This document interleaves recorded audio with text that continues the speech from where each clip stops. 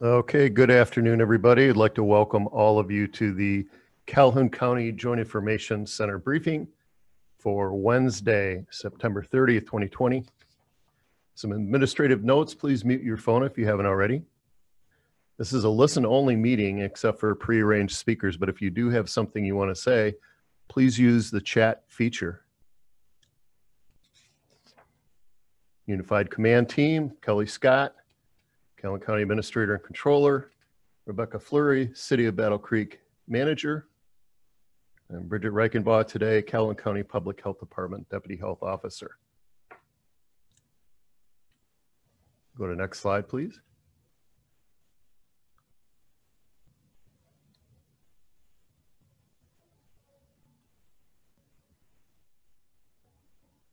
Next slide, please.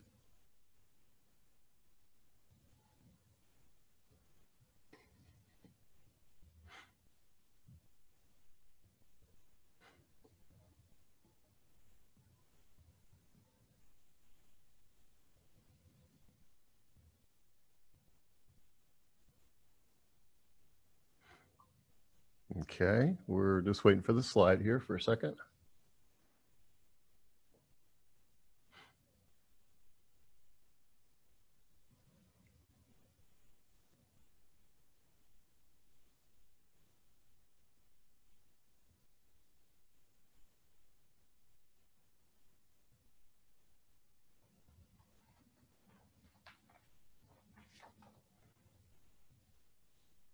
While we're waiting for the slide uh, to change, I will tell you the Joint Operations Center, uh, a little bit about that. The idea is that behind this uh, effort of communication in a broad way is to save lives, mitigate suffering, of course, protect the vulnerable, develop a county-wide approach, which I think has happened very, very well, create a virtual Joint Operations Center, which has been going for some time now, many months, I think seven respond to impacts and effect of the shelter in place order when that is applicable. Anticipate and prepare for COVID increase surge capability. And that's kind of something that the health department is doing on a hourly basis. And kudos to them for the hard work. Anticipate, prepare for COVID increase and develop a plan to reset, stabilize. Have we got a slide change yet? Nope. I mean, just one second, Dirk. I had um, Cindy send, this is Sarah, I had Cindy send them to me, so I'm going to try and share them. Okay, that sounds good. A reminder to you, uh, the purpose of the Joint Information Center today is to provide current and relevant information regarding actions, activities, and resources in the JOC in a combined format, community and elected leadership, as well as the media to listen and determine the needs of all jurisdictions in Calhoun County. And that's why we're, that's the reason we're here today. Yeah, getting closer on the slides. Apologize for the technical difficulty here. We'll get her going.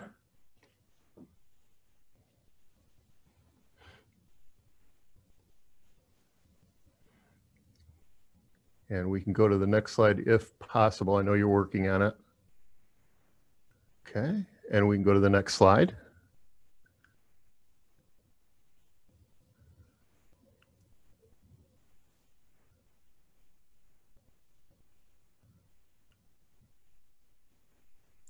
What screen are you seeing now, Dirk?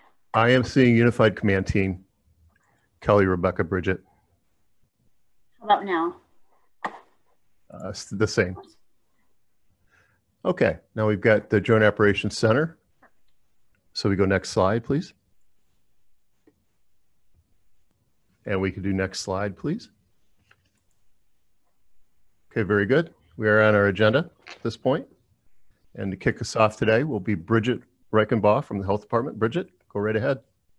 Next slide. So as you can see here, uh, we've had a significant surge in cases over the last week. Um, currently, we're at 1,324 positive cases, 45 deaths reported, and nine persons currently hospitalized um, in Calhoun County.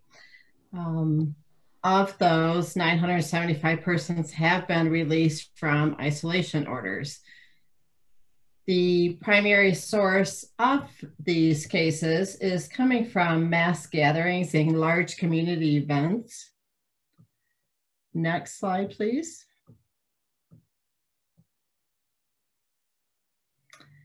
And this is a graph showing, of course, our um, cases since it started. And you can see there the um, increase over the last really week, couple days in cases. Next slide, please. So again, as I mentioned earlier, um, the majority of our cases are community gatherings, um, family gatherings, weddings, funerals, birthday parties, um, and various religious um, services. We are really encouraging people to try to avoid those gatherings when the social distancing is not an option um, and to limit those activities whenever possible to outside activities where you have a larger opportunity to social distance and maintain that six feet or further um, away from other individuals. Next slide.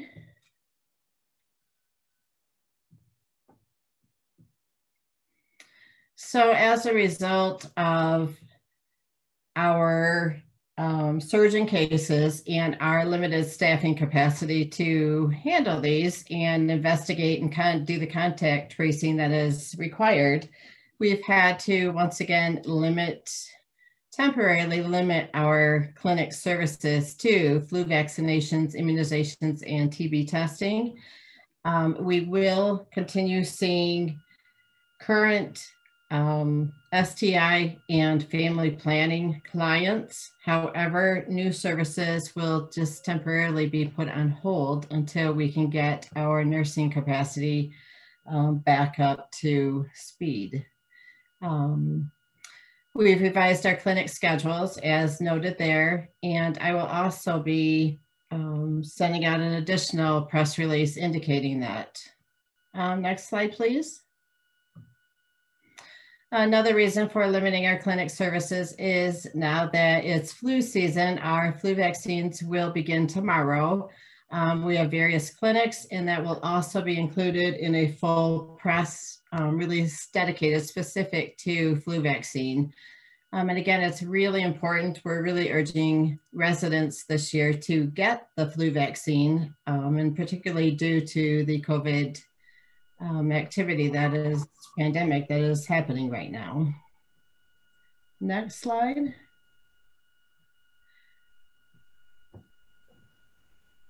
Okay, thanks. Okay, before we go to, oh, Bridget, I'm sorry. I'm sorry, Yeah. Bridget, were you done? Go ahead, Dirk. Before we go to Kelly Scott, a Mhm. message on chat from Susan Baldwin. And I'll read the message because you probably haven't had a chance to, but we'll stay on topic. The graph from Susan Baldwin, the graph for number of confirmed cases only reports a general number now that we have surpassed a thousand cases. Prior to this, the number was specifically reported. Can the dashboard be adjusted to show the accurate daily number? This is an important information from Susan Baldwin. I can help with this. Um, I actually asked Susan which link she was looking at, and it's to our GIS map. And so this is something that we can um, take a look at and see. You know, it sounds like if it's um, you know something having to do with that dashboard, it's going to be something that our GIS will have to handle. And so we'll work with them. Um, but between them and uh, myself with the county website, we're always keeping an eye on this. So definitely let me know if you have uh, specific things that you'd like to see. Um, and in this case, it's going to be our GIS dashboard. So I'll work with them to see if, um, you know, it looks like maybe we can change the, um, if it's, if it has to do with like the graphs, we can adjust that. So I'll take a look wanna- at it. This is, this is Susan Baldwin. I don't know whether you can hear me. Mhm. Um, Yes, we can, wanna- Susan. Thank you. I want to make sure you understand which one I'm referring to. If you open up that dashboard, it's the upper left corner and there's an increasing line that goes up and it used to give exact numbers. And once we hit a thousand, like today, it just says 1.3K. Um, I really would like to have those because this is pretty dramatic what we've had happen over the last couple of weeks. And I'd like that number to be very specific. So I just want to make sure you, you've got an understanding of what my concerns were.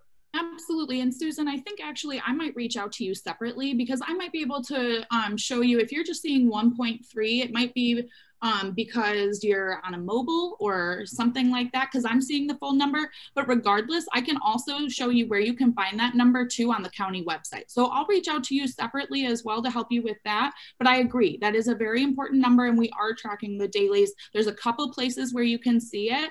You can also see the number of daily cases that we have on the um, I always say it wrong, the EPI curve, which is on our cumulative data page on the county website as well. And what's nice about that is that'll show you the daily cases per day too.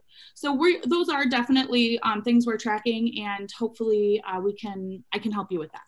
All right. Thank you very much. Absolutely. Very good. Lucy, thank you so much. And we'll let you hook up separately with Susan. Before we go to, oh, Bridget, did you have anything you wanted to add or are you good for now?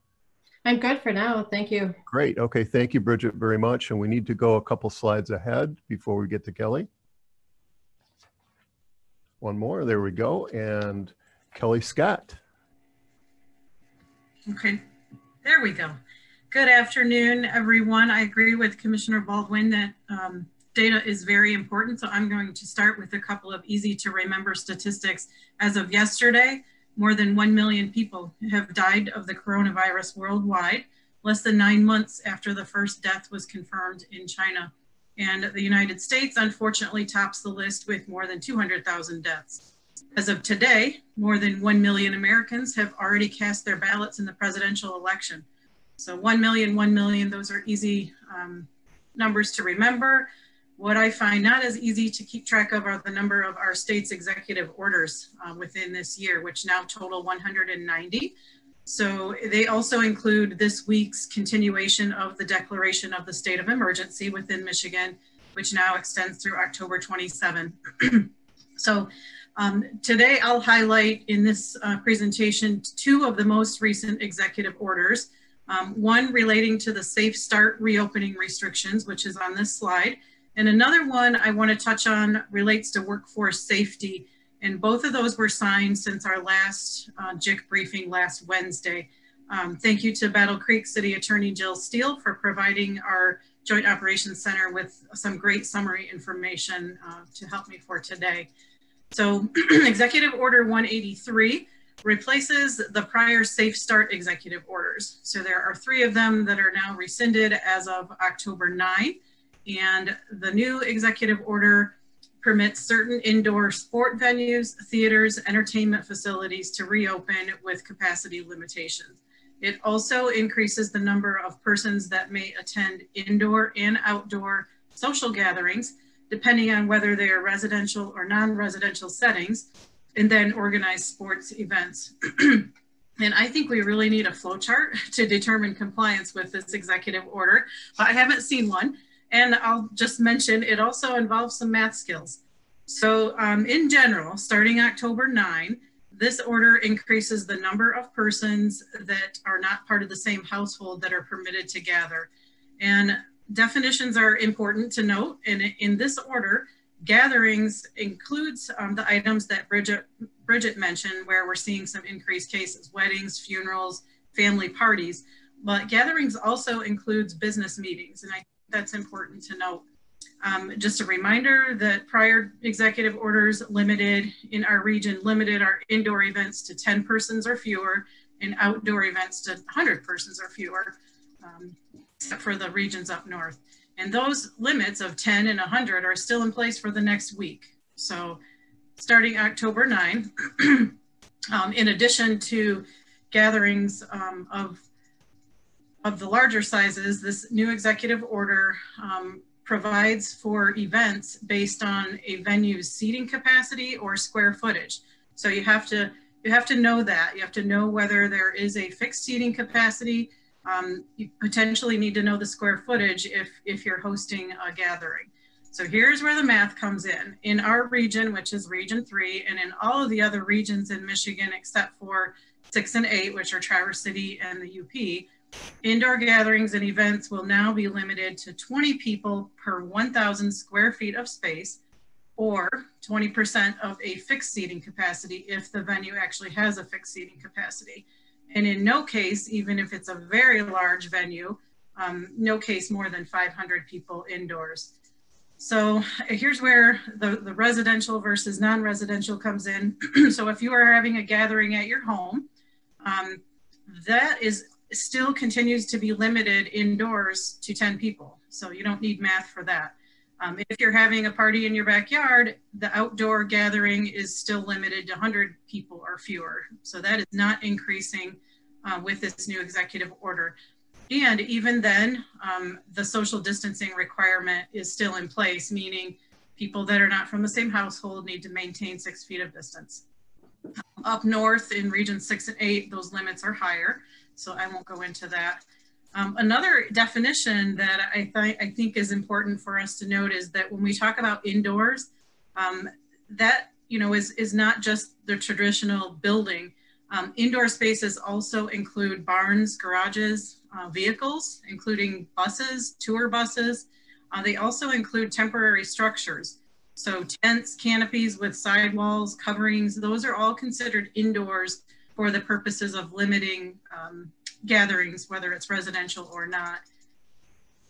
So outdoors, um, the events of up to 1,000 people would be permitted um, at the most, but that is also limited to the lesser of the capacity of 30% of a fixed seating or 30 people per thousand square feet. Um, this order also allows um, recreational facilities. I think the headlines talked about uh, bowling alleys and, and arcades uh, to open. So these are all considered uh, places of public accommodation because they require or they involve um, people in close contact with one another when they're having fun, basically. So amusement parks, arcades, bingo halls, bowling centers, facilities, roller rinks, ice rinks, um, carnival rides can also open on October 9.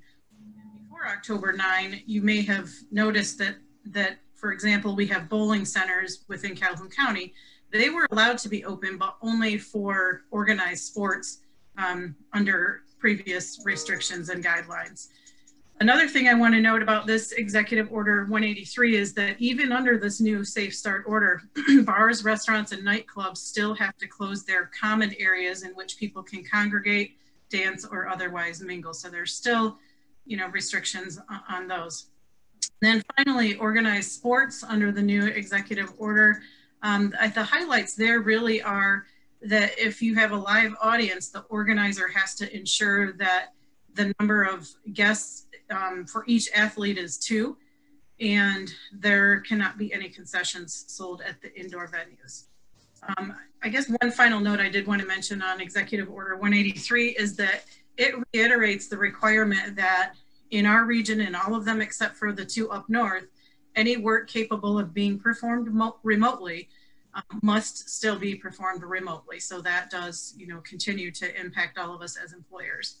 And then I just want to highlight, it's not on a slide, but the, the executive order right after this one, 184, uh, replaces the most recent executive order addressing safeguards to protect Michigan workers from COVID-19. So it updates guide, guidance on workplace safety I mean, really, it was necessary because these other businesses that were previous closed, previously closed are slated to reopen on October 9.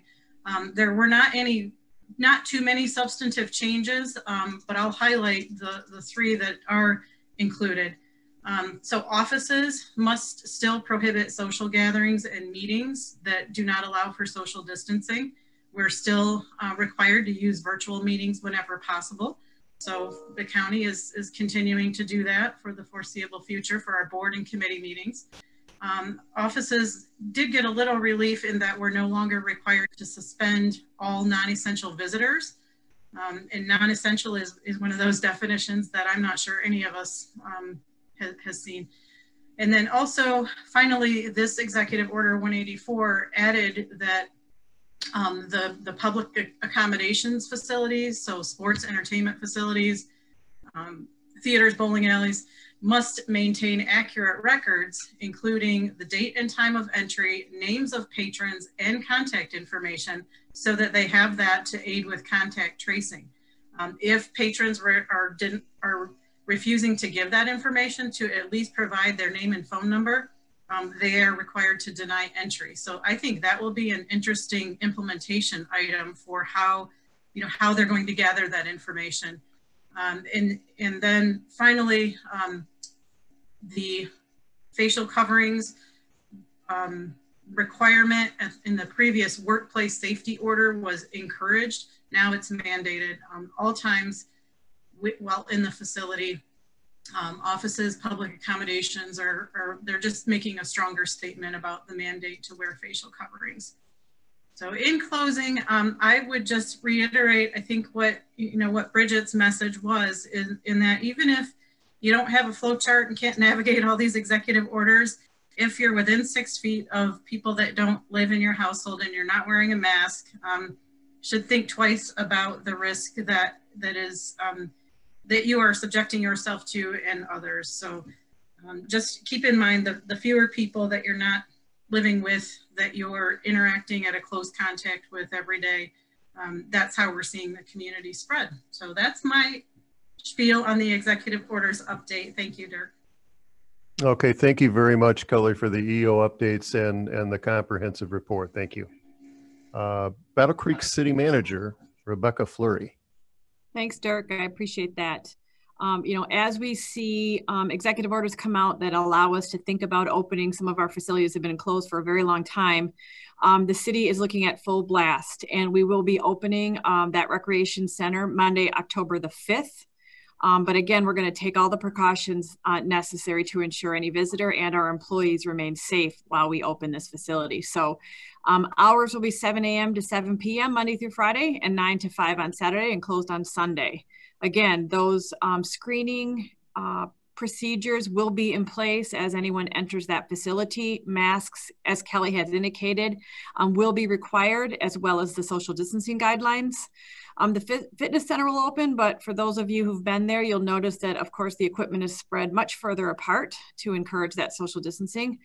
And we will be limiting um, those spectators at court um, activities to two spectators per athlete um, and we will stick to the 25% capacity. Um, those needing uh, Battle Creek Transit passes can continue um, to buy those now at the front desk at full blast now that that facility is back opening. And as far as fall programs go, we are still working on that with our recreation department. Next slide, please. You know, I think um, Halloween has been on um, everybody's mind. It's not even October yet, and I do see Christmas decorations going up. So, you know, uh, Halloween has brought out a lot of questions um, coming in, I'm sure, to all the municipalities in Calhoun County um, about trick or treating and hours and will we have it. So, we really look to the guidelines that come out from both the CDC and the Michigan Department of Health and Human Services, and those links are provided here. Um, the CDC has labeled trick or treating as a high risk, and MDHHS is offering some advice on how to do those things safely. So, as you talk about it as a family and with your kids of trick or treating age, be sure that if you're going to participate in these, you do it safely or you consider maybe alternate ways uh, to celebrate Halloween in your family or in your neighborhood locally we are still talking about you know how we're going to handle some of these large events i know many um, look for trunk or treat and other activities by organizations in not only Battle Creek, but throughout Calhoun County. And as soon as we have some final information, we will make sure that we share that broadly through social media, press releases, and other things. Um, so please uh, stay tuned. We want to make sure that we are considering all of our options and possibilities and working very closely with the health department um, to understand, you know, the risk if we move forward with some of those events. Next slide, please you know, I think Dirk said at the beginning that, you know, we have had the Joint Operations Center up and running for seven months. Um, and all this while, you know, we have so many people in the community making sure that things like food and basic supplies continue to be distributed um, throughout the county. So just recently, we got an update of just in the past two weeks, um, you know, we see food being distributed at Restoration Life Church, um, by Faith Based Coalition and Carewell Services. Um, on the north side, fam- for families on the north side, the Washington Heights United Methodist Church has recently distributed 150 boxes in collaboration with the Faith Based Coalition and RISE.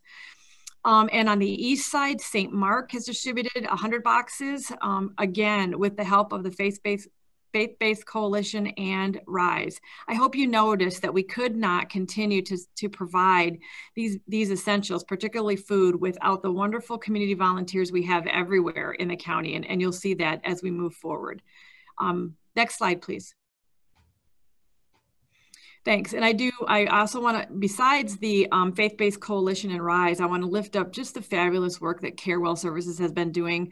Um, I know Carla is on this call, so I'll, I'll do my best to celebrate her works and um, all of their efforts and her volunteers um, because they are still out purchasing groceries and delivering medications and meeting needs um, for COVID positive families, as well as those who are isolated and quarantined, and for those families or persons that may be homebound or disabled or elderly who just need some assistance um, beyond what they may normally need during this COVID time.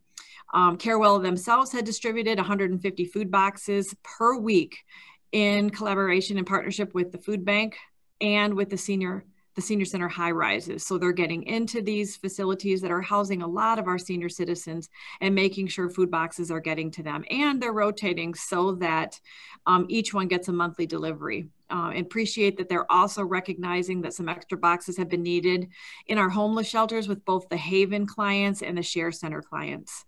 Uh, weekly food distribution continues in Homer and um, I know that Carla and her team are transitioning to work with the with P, with the public health department to increase the, the flu vaccinations, um, particularly in older adults. And I think you heard Bridget say that it's really important, especially for seniors and those with other medical um, uh, compromises to really get your flu vaccines this year because not only are we in a global pandemic, but we are food flu season is here. So please do everything you can to keep yourself healthy and get that vaccine.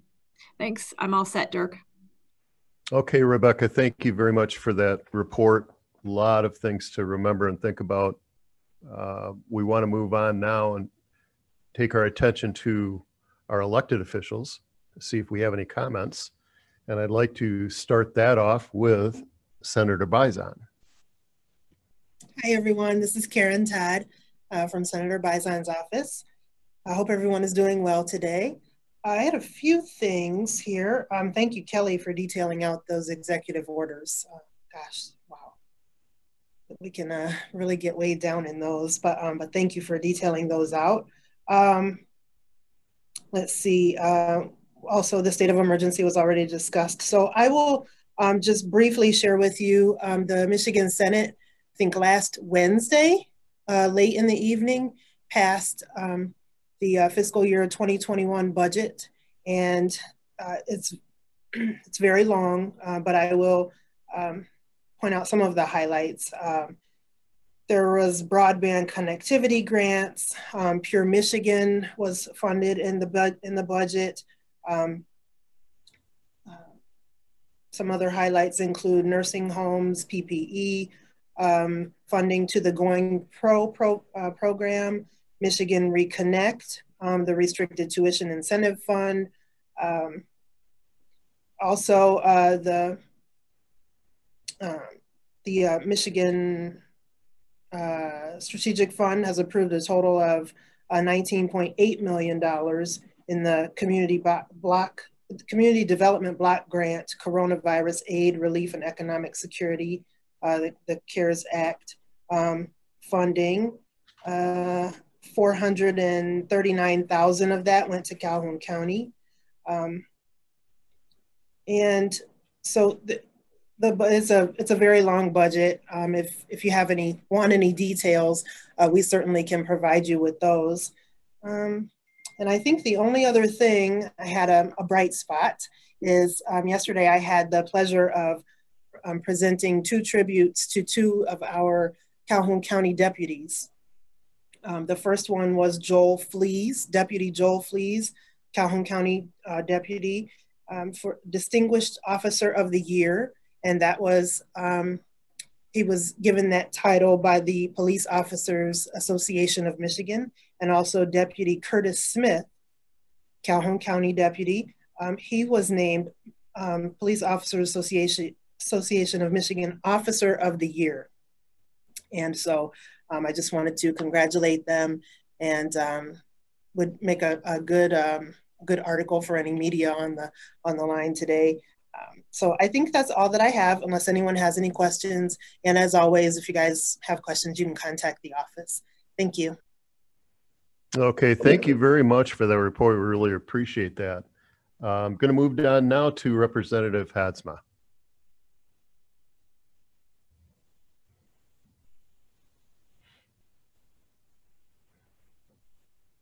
One more shot for the representative or somebody representing representing the representative. Say that fast three times. Okay, moving on down the list, Representative Hall.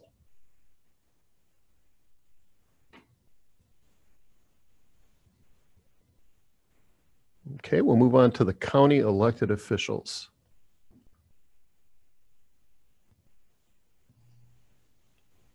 Hello, everyone. This is Kimberly Hinckley, uh, your Calhoun County Clerk and Register of Deeds. I um, just wanted to give you guys a quick update today um, on the status of um, some absentee balloting. Um, first off, um, last week, Terry Lowe, my elections director, we can't live without. Um, and I spent approximately 36 hours um, proofing and testing the programming for um, the precincts um, so that each precinct could get their AV ballots out on time, which was September 24th, to uh, reach that 40 day um, platform. Um, so we were successful. All ballots that were had applications that had been received up through the 24th have been processed and out in the mail.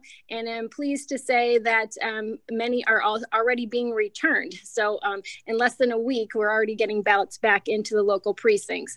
A lot of questions um, out and about about that process. We're always welcome to answer any questions that anybody might have on whether it's um, the safety of your absentee ballot or can you still vote in the polls on election day? And many different questions that are out in the uh, public's mind. We're more than happy to um, address those as well as, as the local clerk and um, so please feel free if anybody has any questions, contact me or Terry or any of the local clerks will be glad to answer that. And then um, we had a meeting with several of the local clerks, your city and township clerks, that have what's called an AV counting board, so an absentee um, ballot counting board. And that is they process, they have so many absentee ballots that they're processing them in their own type of precinct. And um, so we had a meeting with them today and went over um, procedures, changes to those um, policies this year, kind of get everybody on the same page. So hopefully election night, we have a smooth processing in uh, those AV county boards. And uh, as been reported, um, hopefully it won't be a week before you have your results in Calhoun County. And I'm sure we won't. I'm very positive we won't. So I just wanted to give everybody that update. Um, election is going well so far. Um, please urge your citizens as you're talking to them to make sure that they're registered. Um, make sure they vote, whether it's in person or absentee, but please vote. So thank you all. Kim, thank you very much for that report. We appreciate it. Are there any other county elected officials that would like to speak today?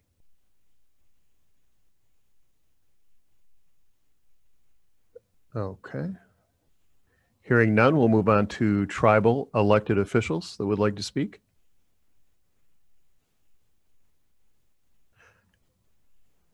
And we'll move on down to city elected officials.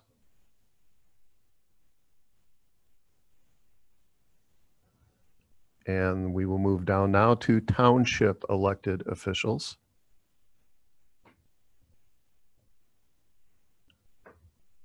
And finally on this, village elected officials, if there's anybody that would like to speak. Okay, very good. I'm looking at chat. I'm seeing nothing further on chat. And unless anybody has anything else, I'd like to remind you the best information sources is, sources are calhouncountymi.gov, battlecreekmi.gov forward slash coronavirus, michigan.gov forward slash coronavirus. and of course CDC. On behalf of the Unified Command Team, I'd like to thank everybody for joining us today and have a very pleasant day. Thank you.